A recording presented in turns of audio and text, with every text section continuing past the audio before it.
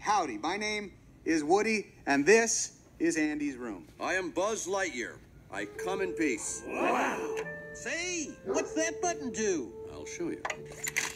Oh, impressive wingspan. Oh, what?